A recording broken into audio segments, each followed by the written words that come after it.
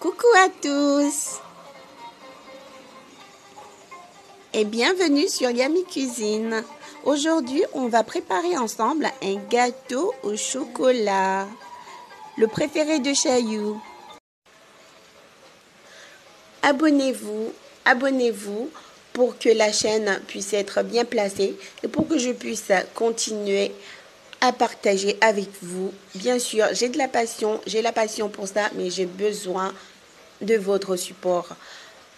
N'hésitez pas à me poser vos questions, je suis là, je vous répondrai. On commence par euh, tamiser toutes les poudres, c'est-à-dire la farine, la levure chimique, la bicarbonate et la poudre de cacao.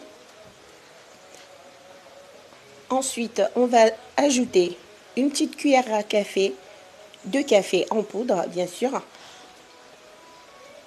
le yaourt, les œufs, l'huile et quelques gouttes d'essence de vanille. Et enfin, le sucre. Et on commence à travailler l'appareil. On va chercher au fond et on va ramener au milieu et bien mélanger pour obtenir une pâte fluide et lisse. Voilà, je pense que ma pâte est prête. Je peux la verser dans le moule, allant au four et cuire le gâteau à 200 degrés pendant 30 à 35 minutes, dépendant du four. Mais moi, je l'ai cuit à 35 minutes. Et voilà, le gâteau est prêt. On peut le démouler et le laisser tiédir sur une grille.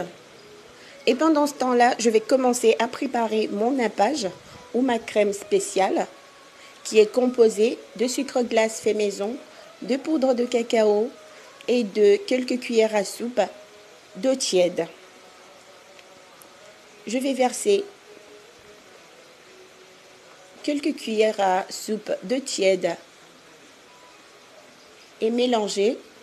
Je continuerai à ajouter jusqu'à ce que j'obtienne une, une crème fluide ou un nappage fluide et lisse. Voilà.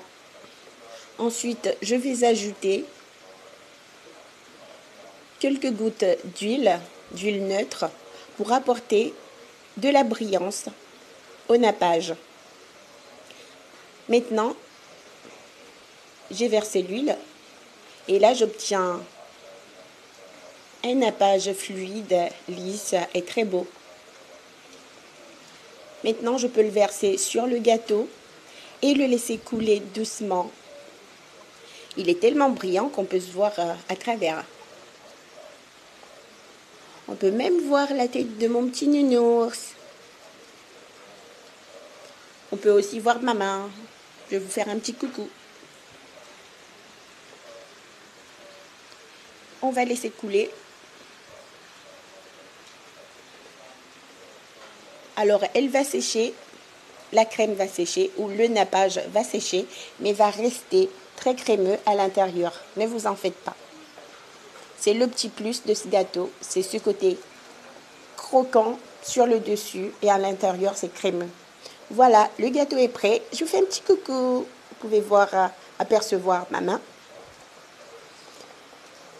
Le gâteau est prêt. Vous pouvez le servir.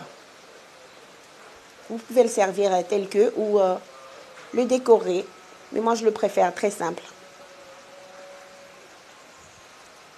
Je vais le couper le servir. Je peux vous rassurer, ce gâteau est très bon. Essayez cette recette chez vous et tenez-moi au courant. Merci d'avoir suivi la vidéo. À très vite pour des nouvelles recettes sur Yami Cuisine. Et partagez la vidéo.